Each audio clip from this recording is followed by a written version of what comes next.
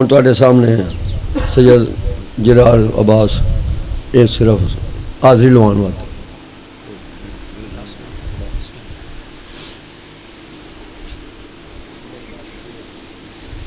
सलवात पढ़े मोहम्मद वाले मोहम्मद की ज़ात पर।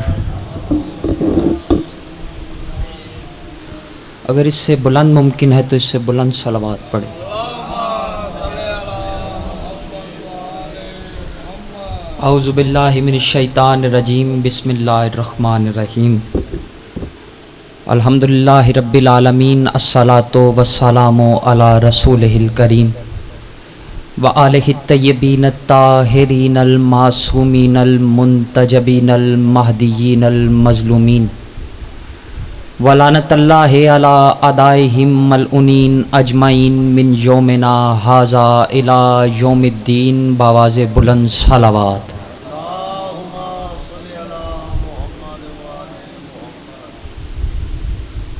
सूरह हजर कलाम मजीद का पंद्रवा सूरा है और इस सूरा की आखिरी आयत का आखिरी लफ्ज़ मेरी तकरीर का उनवान है और वो है यकीन।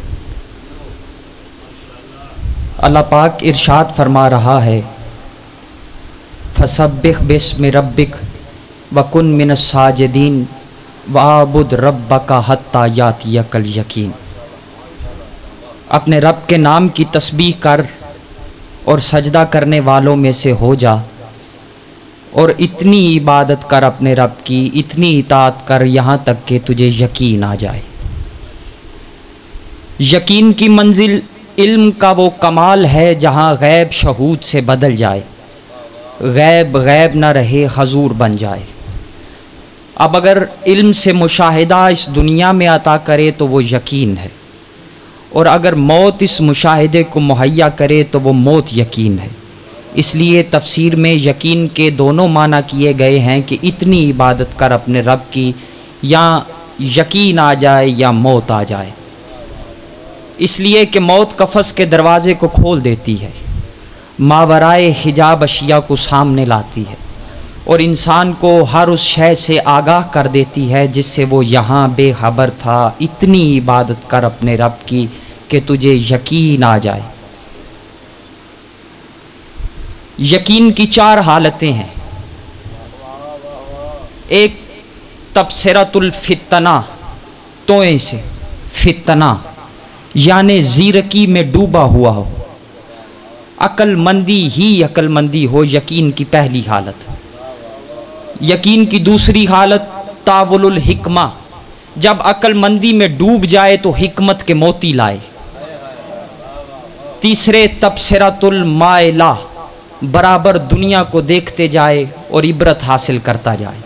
साहिब यकीन इबरत हासिल करता जाए। चौथे सुन्नतुल जाने वालों पर नज़र रहे कि इनके यकीन का क्या आलम है। इसलिए कि हमारा मुस्तकबल हमारे माजी से कटा हुआ नहीं है। हम माजी से कट कर जी नहीं सकते हैं। हम अपने यकीन को तो उसी यकीन से मिलाना चाहते हैं जिसने आवाज़ दी थी लो कुशफल किताउ लिमार जख्ता यकीना। अगर हिजाब हाय आसमानी मेरी आँखों के सामने से हटा दिए जाएँ तो जिस यकीन की मंजिल पर हम हैं हम वहाँ से नहीं हटेंगे।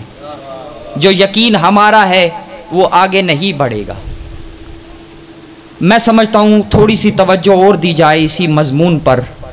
तो इरशाद होता है कि ईमान के लिए लाजिम है लाजिम है कि सब्र, यकीन व अदलो जिहाद हो। जिस्म की छह हालतें हैं।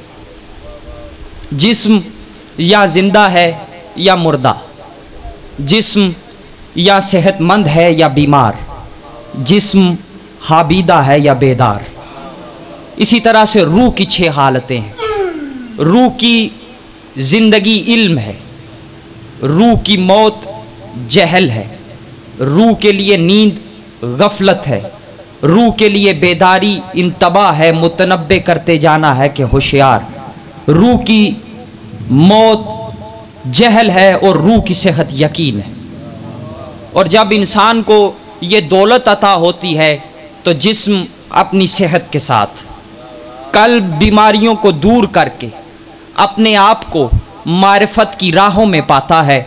और उसका बयान ये है कि इरशाद फरमाया कि अक्ल को जो बेहतरीन दौलत अता की गई थी, वो यकीन की दौलत थी।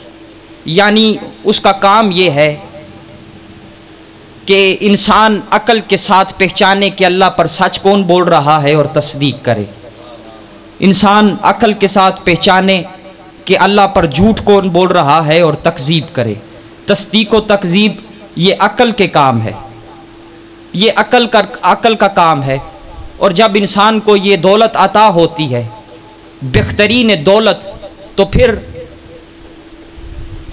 इंसान एक ऐसी मंजिल पर अपने आप को पाता है कि अगर ये यकीन हट जाए तो फिर सामना है शक का। शक की हालतें ये हैं कि तमारी है, तरद्दुद है, होल है, फरार है। ये शक की हालतें हैं। तमारी तरद होल, फरार। जहाँ शक आ गया तो हक की राह में आगे बढ़ना मुमकिन नहीं बजुज फरार के। तो जहाँ फरार पाओ, समझो कि यकीन नहीं है। तो इस मंजिल पर बहुत ही काबिल ज़िक्र दौलत, जिसको कुरान मजीद ने बहुत ही ख़ास अंदाज में बयान किया है, वो ये है कि कजाले का नूर इब्राहिम मलकूत समावात वल अर्ज़ ले यकूना मिनल मोकनीन। हमने इब्राहिम को ज़मीन व आसमान के मलकूत दिखला दिए, ज़मीन व आसमान का होल्ड बतलाया, ज़मीन व आसमान का कंट्रोल बतलाया और ये बतलाया कि उसको उसका इकतदार व इख्तियार किसके हाथ में है? फ़कत इसलिए कि इब्राहिम के दिल में यकीन पैदा हो। नबी उलुलज़म साहिब शरीयत गर्रा, हुल्लतो नबूतो इमामतो, रिसालत की मंजिल पर फाइज नबी कजाल का नूर इब्राहिम मलकूत समावात वलर्ज यकून मिनल मोकिन यहाँ यकीन मौत नहीं है। बल्कि इब्राहिम के दिल में वो सेहत रूह पैदा हो जाए कि अंदाज़ा हो सबका मालिक तो वही है अब अगर वो ये कहे अब अगर नमरूद ये कहे कि कूलुबनु लहू बुनियानन फिल जल कूहू फिल जहीम अगर नमरूद ये कहे कि बहुत बड़ी चार दीवारी बनाओ आग को उसमें भर दो इसको आग में फेंक दो तो यकीन इब्राहिम मुतजलजल नहीं होता जिसको यकीन होता है वही आग में जाता है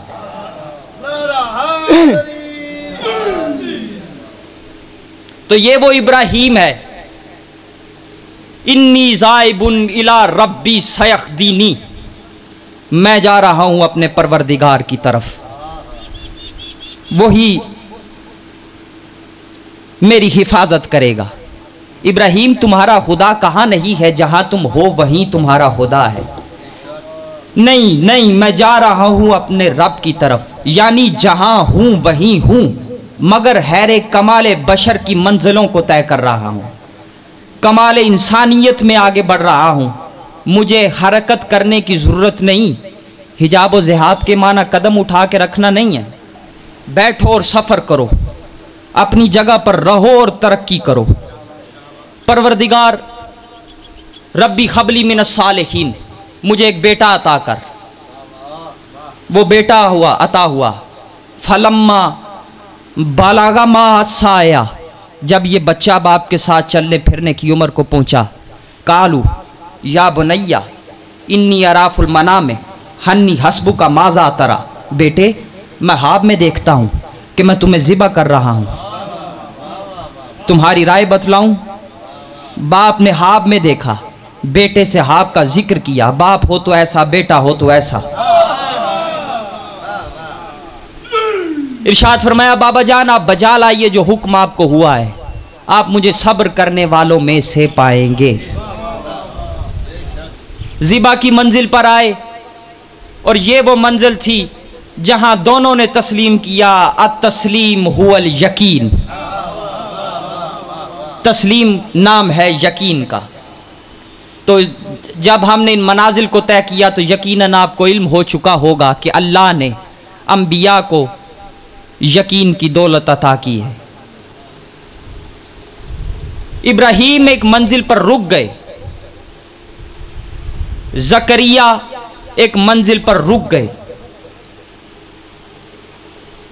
यहाँ जो हमने देखा तो देखा कि एक दिन में इतने लाशें उठाए हैं। एक दिन में इतनी मैयतें उठाई हैं। सत्तावन बरस का सिन है, कभी भाइयों की लाशें ला रहा है, कभी बेटों की लाशें ला रहा है। कभी बांजों की लाशें ला रहा है, कभी भतीजों की लाशें ला रहा है। एक मकाम पर बत्तीस बरस के जवान की लाश उठाई और ये कहकर उठाई, जाओ अब्बास, अब हमारी कमर टूट चुकी है। जाओ अब्बास, अब हमारी कमर टूट चुकी है। एक मकाम पर अठारह बरस के लाल की जवान, लाल की लाश उठाई और ये कहकर उठाई, अली अकबर अल दुनिया बादा का लफा, अली अकबर तेरे बगैर जीने में हाक है। लाशों पर लाशें उठाता, मेरा इमाम असर आशूर तनहा रह गया। कि एक मरतबा सदा दी, है कोई मेरी सवारी कराने वाला? कि मैदान करबला में जुलझना नमूदार हुआ। घोड़े की पुश्त पर बैठे घोड़े को फौज यजीद की तरफ़ दौड़ाया। हमला किया। फातेह हैबर का लाल था, कैसे ना लड़ता। कि एक मरतबा हमले को रोक लिया। जख्मी होते गए। जख्मी होते गए। जख्मी होते गए। जंगल से आई फातिमा जहरा की ये सदा। उम्मत ने मुझको लूट लिया, वाह मोहम्मदा। हाय हाय, ये गहरे जख्म, ये आलम का मुक्तदा। उन्नीस सौ है जख्म, तने चाक चाक पर जैनब निकल हुसैन तड़पता है हाथ पर। कि करबला के मैदान में कौन फरियाद करे और कौन सदा करे? ये फातिमा जहरा कलाल था, ये फातिमा जहरा की बेटी थी, जो बहन भाई इस्लाम बचाने के लिए चल पड़े थे। मैदान करबला में जब बीबी को भाई नज़र नहीं आया तो मैदान में आकर सदा दी। कहाँ हो भाई भैया, कहाँ हो? कि हा के करबला से आवाज़ आई, बहन, जा वापस चली जा, तेरा भाई कुछ यहाँ पड़ा है, कुछ यहाँ पड़ा है, कुछ यहाँ पड़ा है। अल्लाह लान का तला तल हुसैन बाब हक के बेगसी में वगैरह